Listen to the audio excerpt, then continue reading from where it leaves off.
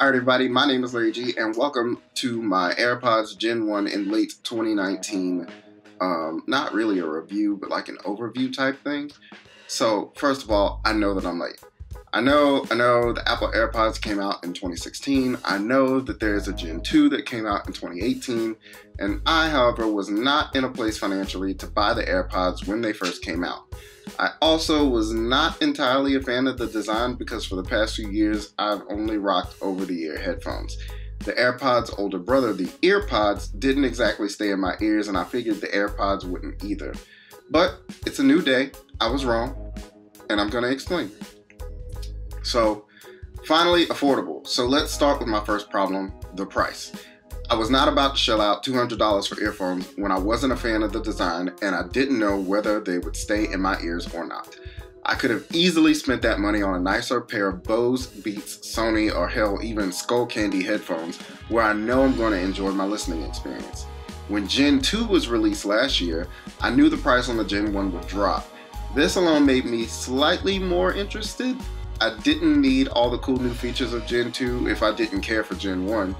So to make this even more appealing, AT&T, the company I have my cell phone plan with, allows you to finance them and add the cost to your cell phone bill for get this, $13 a month.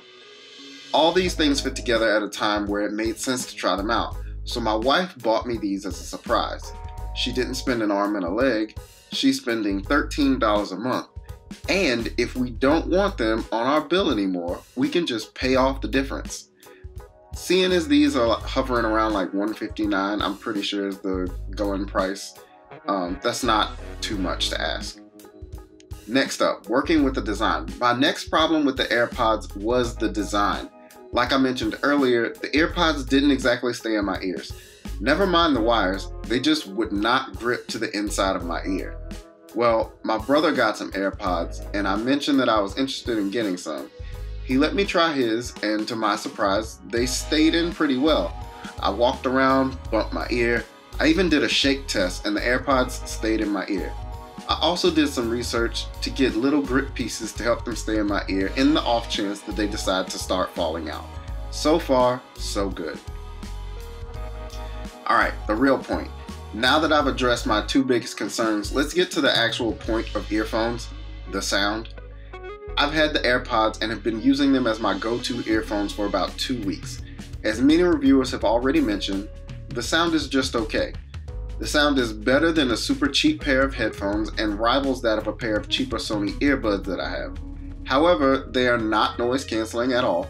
I can hear everything around me when they are sitting in my ear with no sound coming through.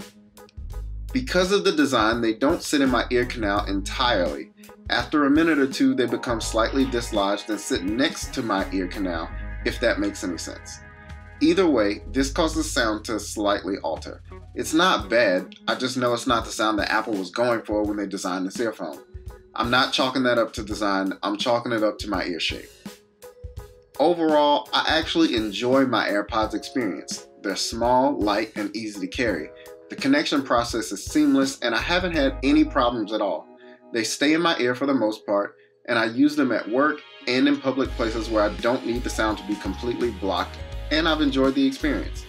If you're looking for a nice pair of truly wireless earbuds with decent sound quality and you can afford them, I have no problem recommending the AirPods Gen 1 if you want that look. Even if you have a different shaped ear, there are cheap accessories to help you get the most out of your AirPods experience. Hope this helped. I've been Larry G. If you like this video, please give it a thumbs up. Um, leave a comment down below. Tell me what you think about the AirPods Gen 1 or Gen 2 or AirPods or just truly wireless earbuds at all. Um, I appreciate all the feedback. I appreciate all the love. And until the next video, thank you and believe that.